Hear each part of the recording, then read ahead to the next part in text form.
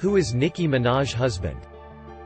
Nicki Minaj calls her sex offender boyfriend husband. Nicki Minaj refers to her boyfriend Kenneth Petty as her husband, just over three months since they made their romance official.